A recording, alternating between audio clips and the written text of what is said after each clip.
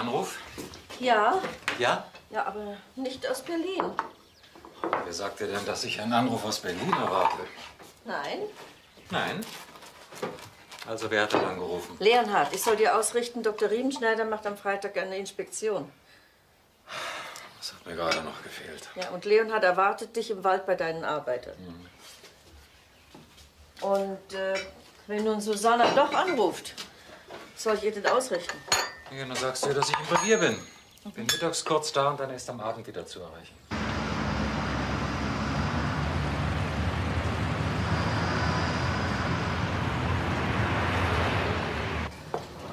Morgen. Morgen. Entschuldige. Ja, ist schon gut. Moment.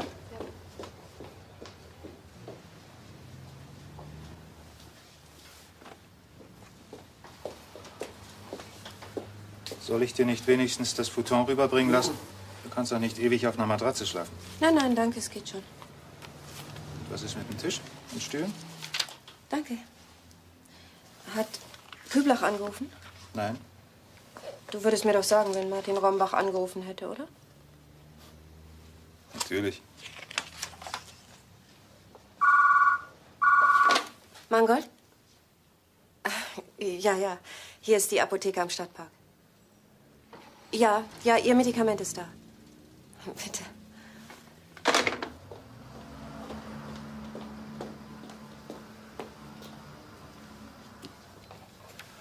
Erst Küblach verlassen und jetzt bibbernd auf einen Anruf warten. Ich warte nicht bibbernd. Na, ist ja gut. Warum sollte ich ausgerechnet nach unserer Scheidung schlau aus dir werden? Guten Tag. Womit kann ich helfen? So schaut's hier aus. Ja, bis zum Freitag schafft man das ja nie. Und dann noch den Zaun. Da müssen Sie eben Überstunden machen. Ja, und wann sollen wir dann mit dem Holz anfangen? Wann, wann, Herr Breitkreuz, sofort. Mit unser Möglichstes, Herr Rombach. Eine gewisse Gereiztheit, mein lieber Herr Rombach, ist Ihnen nicht abzusprechen. Soll man da etwa nicht gereizt sein, wenn einem plötzlich eine Inspektion ins Haus steht? Ist es nur die Inspektion? Was macht eigentlich die bezaubernde junge Dame? Frau Mangold? Sie ist wieder in Berlin. Wieso? Hat sich das schon bis zu Ihnen herumgesprochen? Es lässt sich doch nicht vermeiden.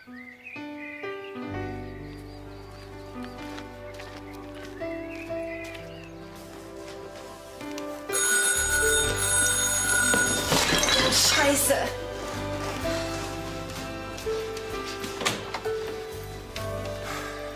Störe ich? Ja, Das Futon, ich hab's dir mitgebracht. okay. Stell's dahin. Danke.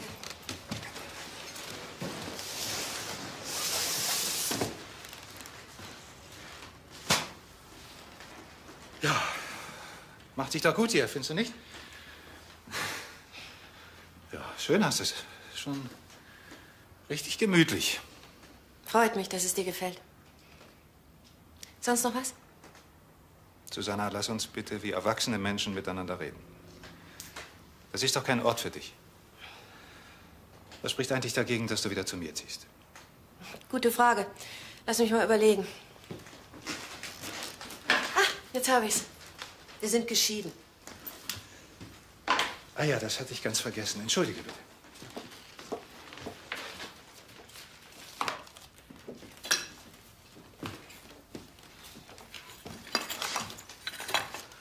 Was hält dich überhaupt noch in Berlin, wenn man fragen darf? Warum gehst du nicht gleich in den Wald zu deinem Vielleicht mache ich's ja. weit und breit kein Theater, keine guten Restaurants? Passau liegt ganz in der Nähe. Passau, das ist doch die tiefste Wildnis. Hast du keine Angst, dass du dich dort zurückentwickeln wirst? Also hör mal, das hat doch alles keinen Sinn. So, so kommen wir nicht weiter. Es gibt kein Zurück mehr. Zurück wohin? Zu mir oder zu der Stadt hier? Es ist zu Ende. Nicht die Absicht, dir ein kleines Türchen offen zu halten. Hm.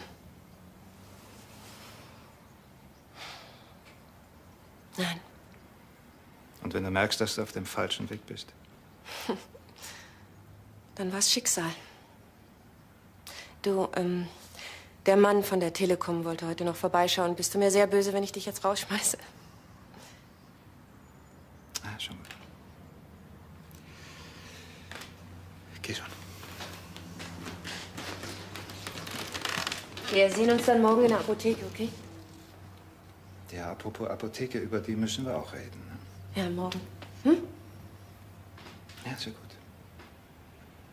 Morgen.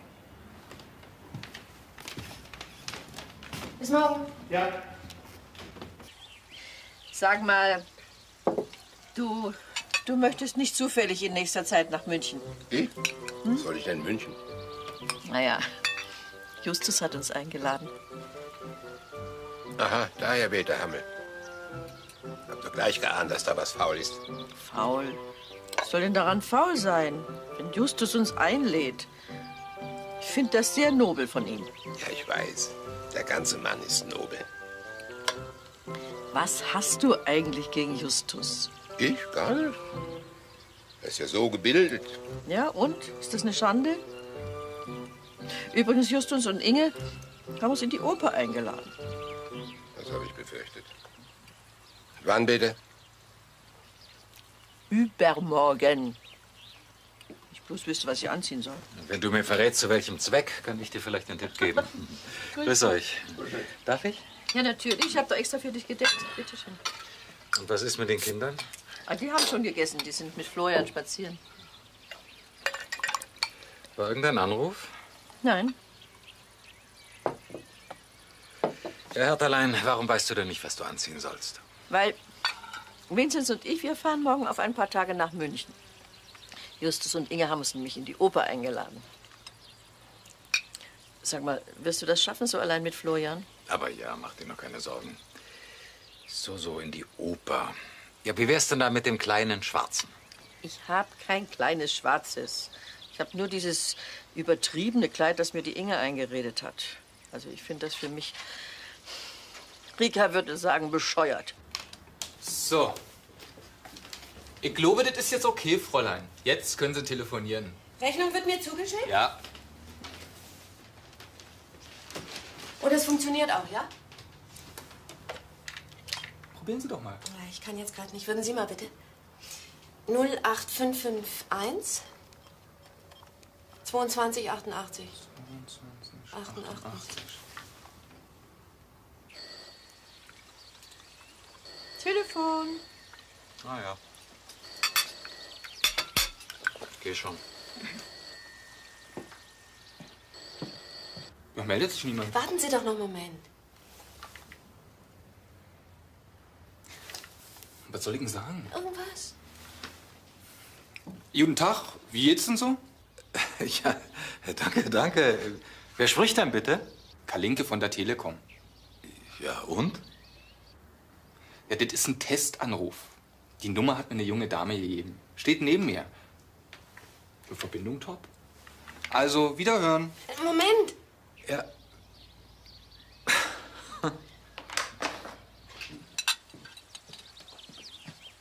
Na, erfreuliche Nachricht? Irgend so ein Spinner, der wollte mich auf den Arm nehmen. Er hat allein. Ja. Mir fällt gerade was ein. Wir können gar nicht nach München fahren. Was? Wieso denn nicht? Wer soll sich denn um den armen Wuschel kümmern? Erstens ist der Wuschel nicht arm. Und zweitens glaube ich, dass Martin und die Kinder uns bestimmt den Gefallen tun werden. Stimmt's? Ja, ja, sicher, Hertha. Da siehst du. So, abräumen tue ich später. Und wie wär's denn jetzt mit einem kleinen Verdauungsspaziergang? Hm? Nein, nein, ich leg mich lieber aufs Ohr. Ja, und wir zwei beide? Ja. Ja? Bis dann. Ja.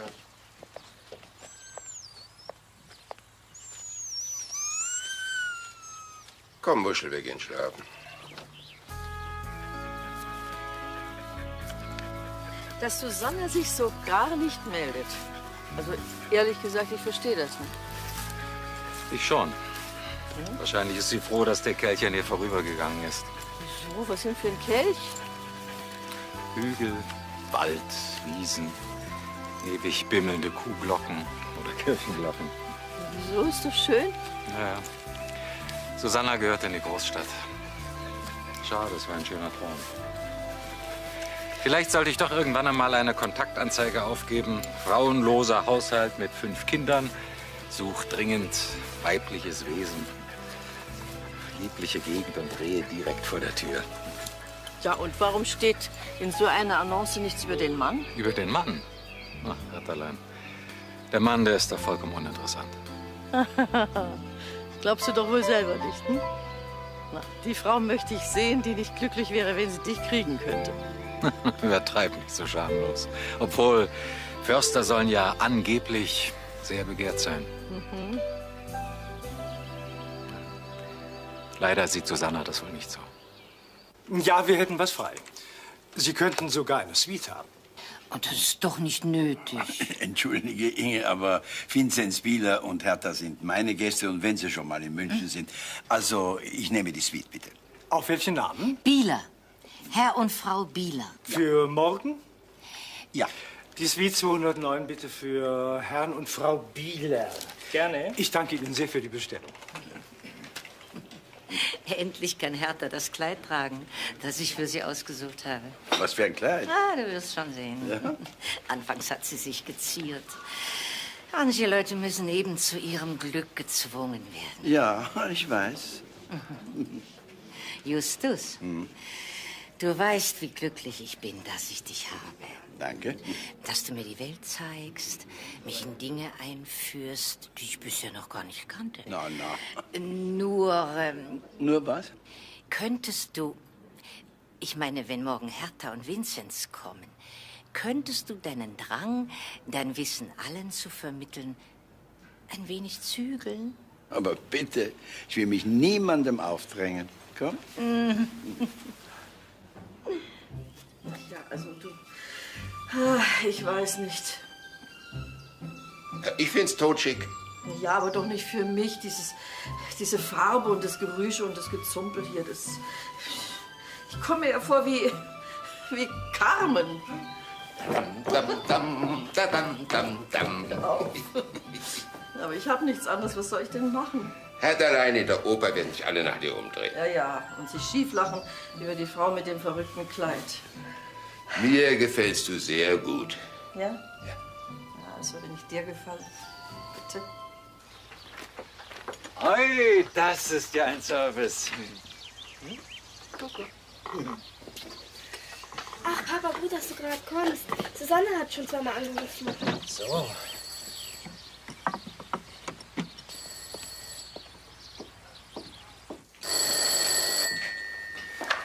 Rombach? Hier ist Susanna. Susanna. Das ist aber schön, deine Stimme zu hören. Wie geht's dir denn? Wenn du bei mir wärst, ging's mir besser. Übrigens, ich habe seit heute Telefon. Hast du was zu schreiben? Ja. Ja? 1990. Aber eigentlich brauchst du dir die Nummer gar nicht aufzuschreiben. Warum denn?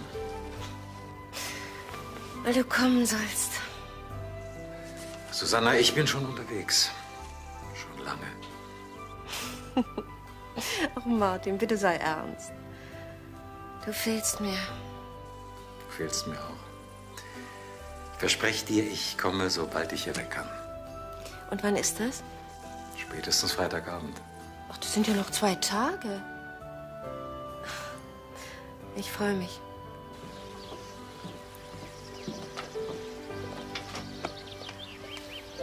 War das Susanne? Ja, das war Susanna. Und wann kommt sie? Ich fahre nach Berlin. Ach du großer Gott, Hertha ist ja gar nicht da. Warum? Sie fährt ein paar Tage mit Vinzenz nach München. Ja, und wer passt jetzt auf Florian auf? Wir nicht. Nein, Aber Papa, wir haben noch die Klassenfahrt. das habe ich ja völlig vergessen.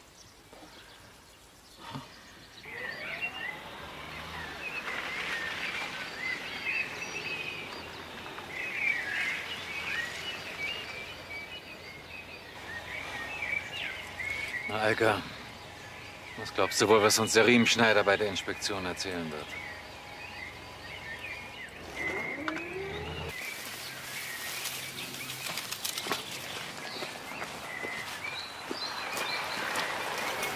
Morgen, Morgen, was wir können.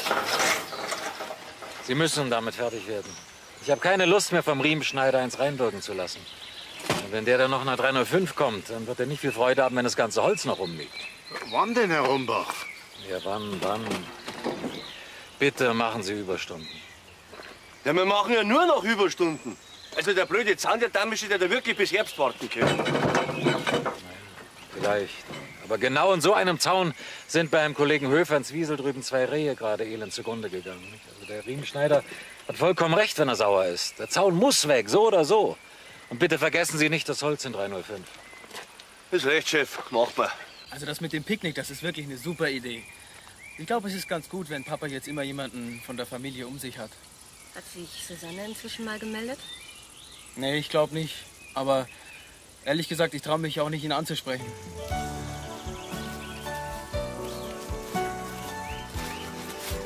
Oh, das habt ihr aber schön gemacht. Na endlich. Lecker, setz. Ah. Für mich? Ja, klar. Extra Schenken, Herr Rombach. Ganz frisch. Hm. Markus, für deinen Vater. Danke, Carmen. Ja, manchmal ist das gar nicht so ganz leicht mit uns Männern, was? Mein Gott, in dem Ton geht's jetzt schon die ganze Woche. Furchtbar. Ich sag dir was. Alleine leben ist da echt noch das Beste. Und? Wie geht's sonst so? Ach, oh, ein bisschen Stress. Wir haben am Freitag Inspektion im Revier. Und sonst? Ach, äh, da fällt mir ein. Ihr wüsstet nicht zufällig jemanden, der zwei Tage auf den Florian aufpassen könnte? Wieso? Was ist denn los? Erst sollen wir auf Wuschel aufpassen und jetzt auch noch auf den Kleinen. Fahren Sie weg, Herr Rombach? Ja. Dienstlich? Äh, naja, äh, ja, also so, so direkt, also dienstlich äh, würde ich das nicht nennen, ja. Ja, also was ist denn nun? Wisst ihr jemanden oder nicht? Wenn Sie mir vertrauen. Ich würde mich freuen, Herr Rombach. Ja? Ja, gerne Carmen. Ja, wohin ich fahre, scheint hier überhaupt niemanden zu interessieren. Ja, wo fährst du denn hin, Papa? Nach Berlin. Ach so, zur Landwirtschaftsausstellung, stimmt's? Nein. Ja, äh, ja, ja, ja, Markus, es stimmt. Papa? Ja. Das, was ich da vorhin gesagt habe mit dem Alleinleben, vergiss das lieber, das war Krampf. Und wenn du in Berlin jemanden treffen solltest, den ich auch kenne, könnte ja sein, oder? Ja, könnte sein, ja. Dann grüß ihn bitte von mir. Ganz herzlich. Ich werde es machen.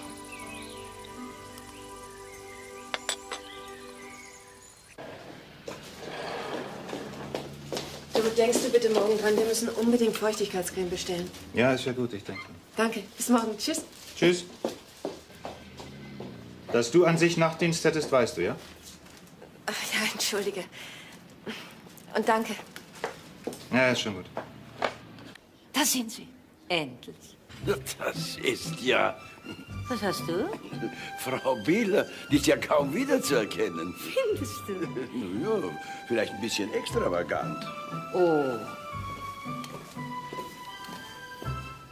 Hertha. Na, das ist doch entzückend. Findest du wirklich? Hertha, ich bin überwältigt. Namen Vinzenz. Abend. So, jetzt haben wir noch ausreichend Zeit, dich in die Geheimnisse Nabuccos einzuweihen. Oh je. Was hast du denn? Muss das sein?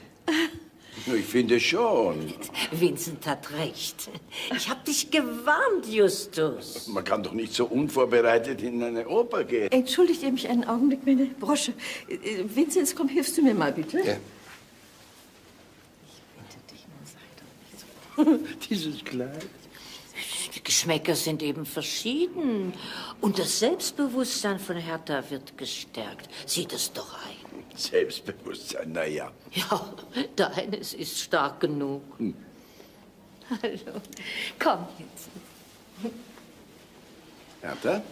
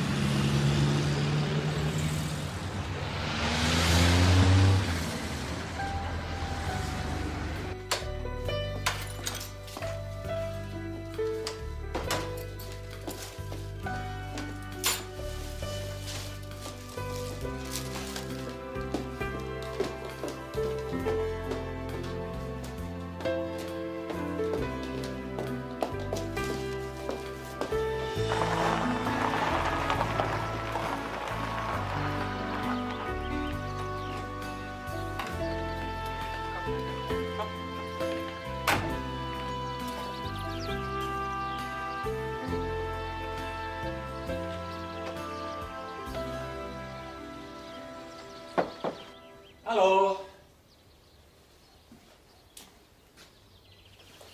Ist niemand da? Doch, wir sind hier oben. Rika kann ihre Bergschuhe wieder nicht finden. Weil Peter sie verräumt hat. Also komm, sei so lieb und hilf ihr suchen. Sie müssen hier irgendwo sein. Wann geht's denn los morgen? Ganz in der Früh.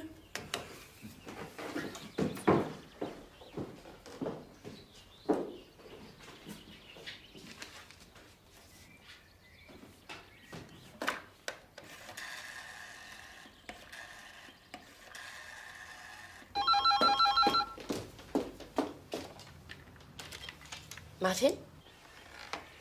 Ich soll dich grüßen. Von Svereen am Waldrand. Ganz liebe Grüße zurück.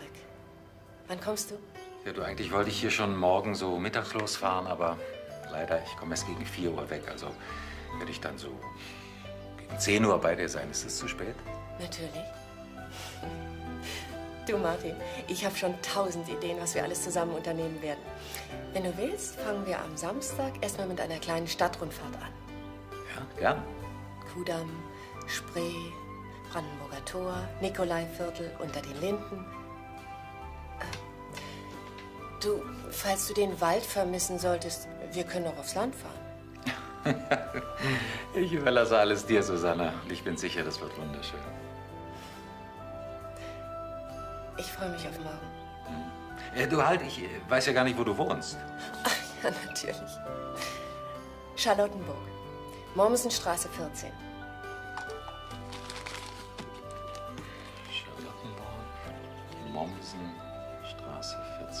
Ja, pass auf, ich erklär's dir. Nein, nein, du, das finde ich schon. Ist das nicht Nähe Kudamm? So gegen 10 also? Spätestens.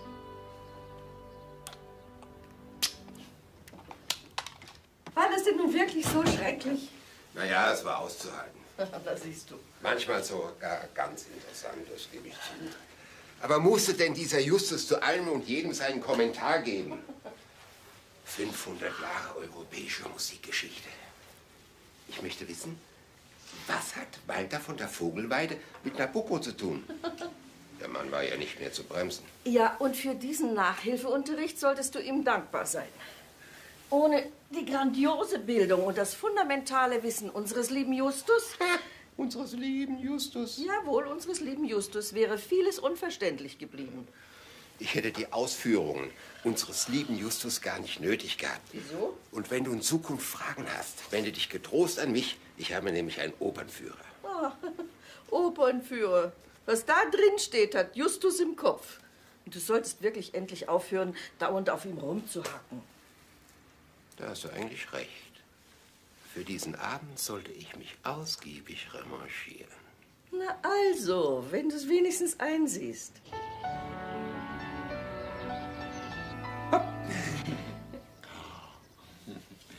Wirst du denn mit ihm zurechtkommen? Ja, ja. Machen Sie sich keine Sorgen. Du müsstest aber über Nacht bleiben. Kein Problem. Markus kommt ja auch um sechs heim. Na ja, schön. Ja, also dann Wiedersehen, mein Kleiner. Papa kommt bald wieder. Ja, so in einer Stunde ungefähr müsst ihr was zu essen kriegen. Ich weiß. Ja, also. Wiedersehen.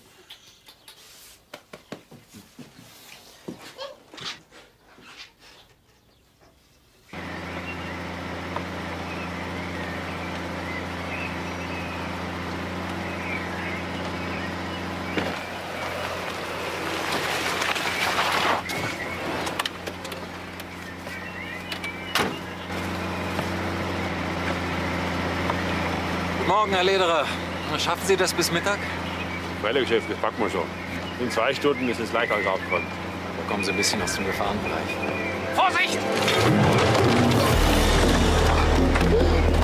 So, das war in etwa der Ablauf der ersten Milliarde. Vom Jäger bis zum Sportjäger der Gegenwart lässt sich die Geschichte der Jagd in Bayern genau verfolgen.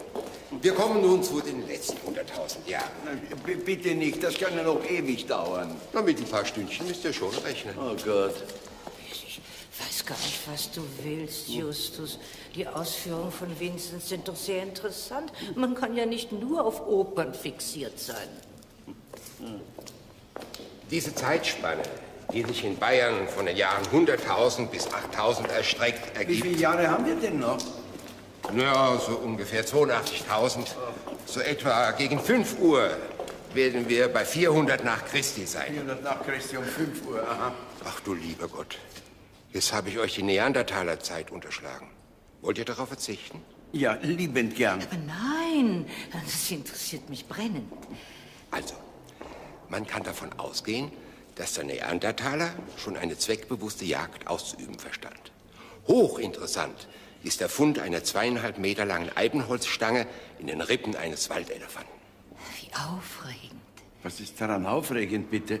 Schon seit frühester Jugend hatte ich für nichts mehr Interesse als für durchlöcherte Rippen eines Waldelefanten. Hier geht's weiter. Du Inge, Justus? Das Kleid gestern Abend, das du Hertha empfohlen hast, also ich muss zugeben, Geschmäcker sind wirklich... Verschieden. Ja. Können wir jetzt gehen? Aber gern.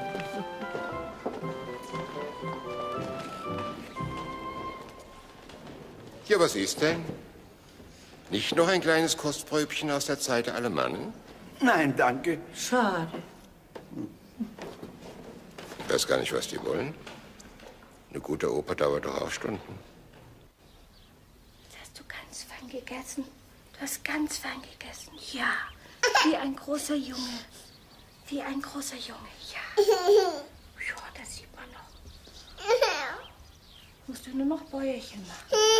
Ja.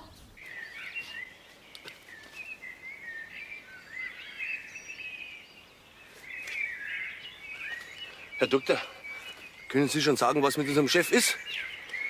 Das kann man genau erst im Krankenhaus feststellen. Hoffentlich kein Schädelbruch. Okay, fahrt ihn ganz langsam rein.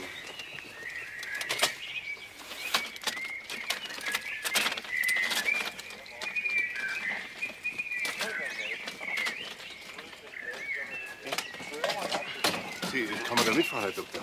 Ja, ja, aber nur einer. Vorn im Führerhaus. vorne. Toni, wir fahren den Chip ins Forsthaus und sagen, was passiert ist.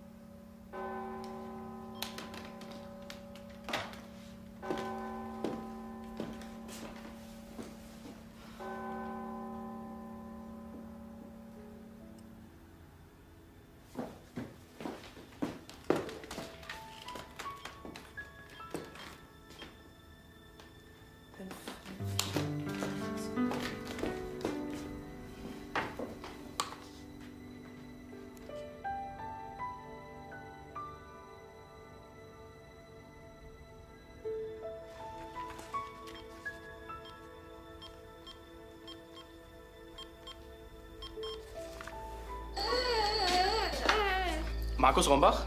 Hallo Markus, hier ist Susanna. Wann ist dein Vater abgefahren? Mein Vater ist im Krankenhaus. Er hat einen Unfall gehabt. Ein Unfall? Was ist denn passiert? Ja, genaues weiß ich selber noch nicht. Ich bin gerade erst nach Hause gekommen. Aber Carmen steht neben mir. Frau Mangold ist dran. Sie möchte wissen, was passiert ist. Susanna?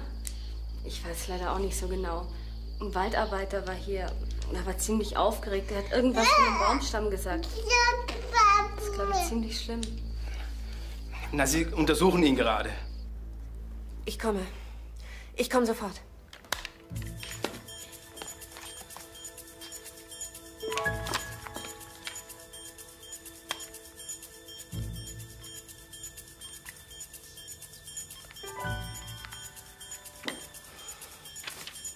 Ja, hallo.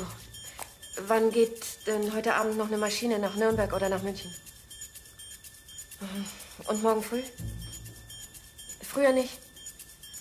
Okay, danke.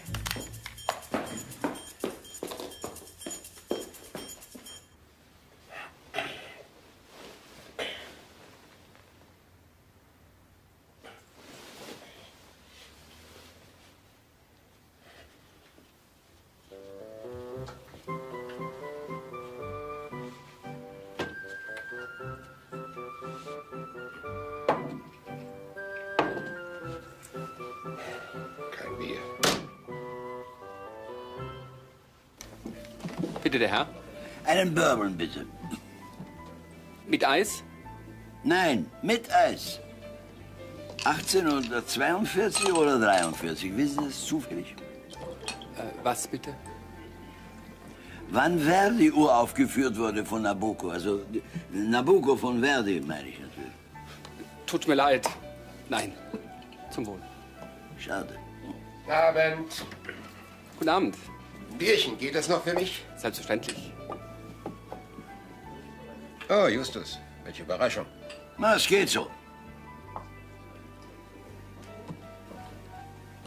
Fragen Sie den Herrn, ob er einen Schnäpsi mit mir trinkt. Der Herr neben Ihnen lässt fragen, ob Sie mit ihm einen... Nein, ich trinke nur Bourbon. Na gut, zwei Bourbon. Für mich doppelt. Hätten Sie wirklich gewagt, uns noch die Amelanen aufzutischen? Alle Mannen. Sag ich ja. Gebe zu, das wäre unhöflich gewesen. Die Almannen geben nicht viel her. Hm, riecht gut.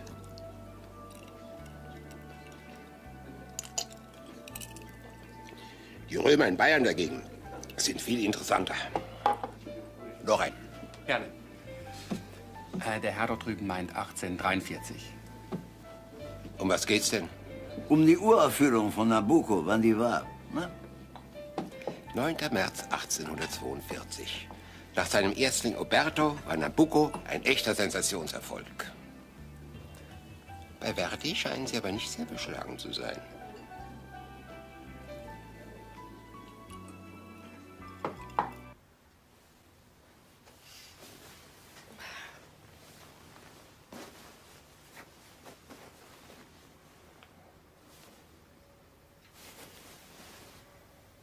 Vinzenz?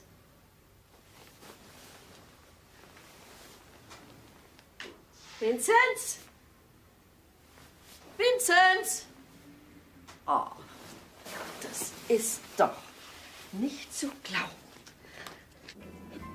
Also wenn es wirklich 1842 gewesen ist, das wäre sensationell. Da gibt es überhaupt keinen Zweifel. Ja? Ich hoffe, die Herren amüsieren sich. Netterlein. Netterlein. Kann Sie sich vorstellen, dass Verdi 600 Jahre vor Christus mit einem Wurfspieß, Bronzeschwert.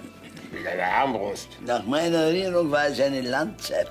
einen Bären erstochen haben. Aber gewiss doch, meine Herren. Aber viel wahrscheinlicher ist, dass du jetzt auf der Stelle mit mir nach oben kommst. Ja, Moment, Moment. Sofort. Nein, zuerst muss ich meinen Freund noch mal umarmen. Wir haben nämlich zueinander gefunden. Über die Musik. Und über die Jagd. Wie schön für euch. Aber trotzdem kommst du jetzt sofort mit mir nach oben. Und Sie sollten auch nach Hause gehen. Komm.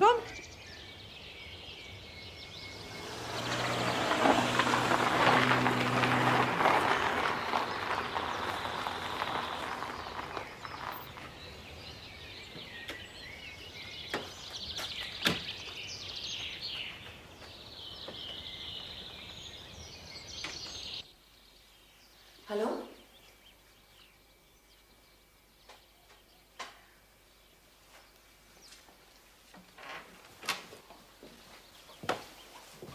Guten Morgen. Ich glaube, wir sind eingeschlafen. Schön, dass Sie da sind, Susanne. Wisst ihr schon was von Martin? Äh, noch nichts Genaues, aber ein Schädelbruch wird wohl nicht sein. Ja, Gott sei Dank. Wenn ihr wollt, übernehme ich jetzt Florian. Na komm, Mensch. Vielen Dank, Susanne. Wo liegt denn dein Vater? Im Krankenhaus in Freyung. Danke, Igor Mensch.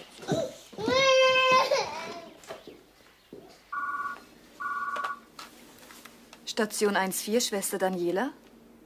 Rombach? Ja, ja, natürlich. Zimmer 12. Aber bitte nicht vor 14 Uhr. Ja, ist in Ordnung. Dankeschön, wiederhören.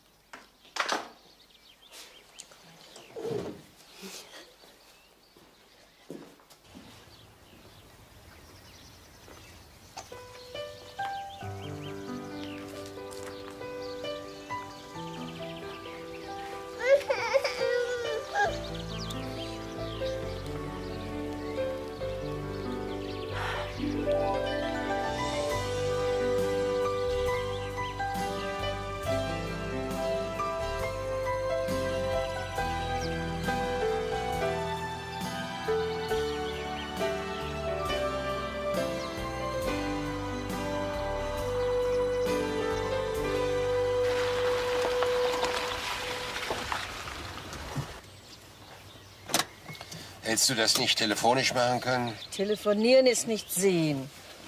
Ich will ja nur rasch Martin und dem Kleinen guten Tag sagen. Ich bin ja auch gleich wieder da. Und komm ja nicht auf die Idee, dich hinter das Steuer zu setzen. Suffkopf. Martin! Rika? Peter! Na nu, Carmen, was machen Sie denn hier? Ich habe auf Florian aufgepasst. Auf Florian aufgepasst. Und wo ist er jetzt?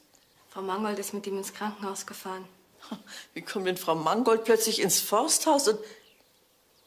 Weshalb, weshalb muss denn Florian ins Krankenhaus? Florian ist okay. Herr Rombach hat... Martin, ja, was ist mit Martin? Er hat einen Unfall gehabt. Um Gottes Willen. Frau Mangold ist heute Nacht aus Berlin gekommen. Sie ist jetzt mit Markus auf dem Weg ins Krankenhaus. Schlimm? Es sah wohl schlimmer aus, als es ist.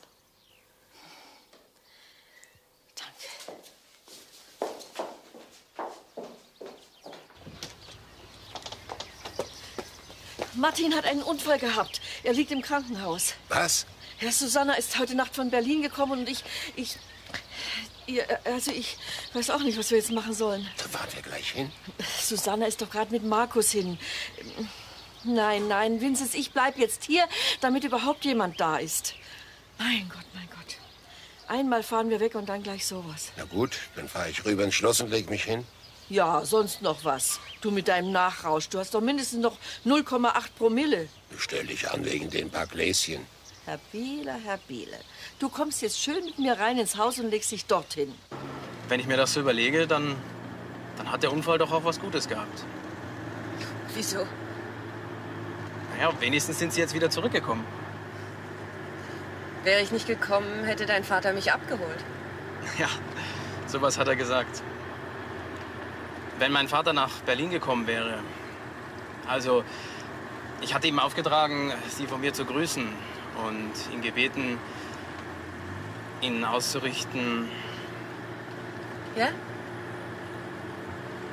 ob Sie nicht wieder zurückkommen wollen und für immer hier bleiben wollen. Ich habe das Gefühl, wir werden uns gut verstehen. Ja, das habe ich schon lange. Ach, Herr Leonhard, ich wollte doch nur das Holz noch aufräumen. Ja, ja. Die Inspektion ist eine Sache, ein fast toter Rombach ist eine andere. Es hätte aber auch genauso gut den Herrn Lederer erwischen können. Sie wissen ja gar nicht, wie viel Schutzengel Sie gehabt haben. Also wenn Sie hier raus sind, werden Sie sich erst mal richtig erholen. Nein, nein, nein. Doch, doch, doch, doch, mein lieber Herr Rombach.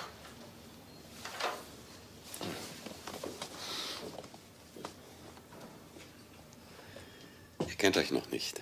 Das ist der Leonhard, das ist die Susanna Mangold. Guten Tag. Sehr erfreut. Also, ich könnte mir vorstellen, dass Sie die freie Zeit ganz gut gebrauchen können. Wiedersehen, Herr Rombach. Wünsche Ihnen noch gute Besserung. Danke. Wiedersehen. Wiederschauen.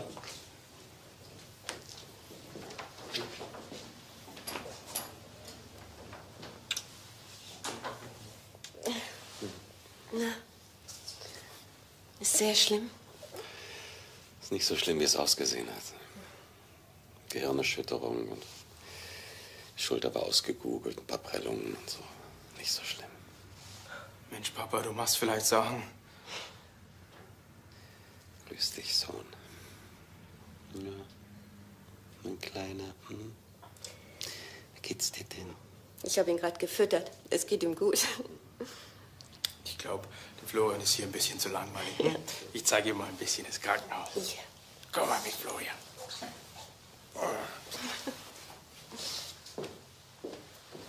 Ich komme dann später noch mal, ja?